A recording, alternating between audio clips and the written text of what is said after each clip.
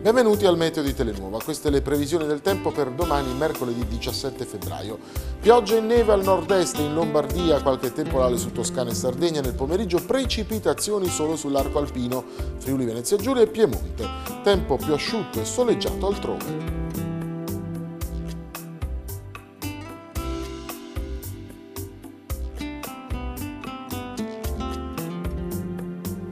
Ora la Campania ancora temperature elevate per il periodo grazie allo scirocco che spingerà masse d'aria calda di origine africana. Il tempo sarà discreto con cielo parzialmente nuvolosa.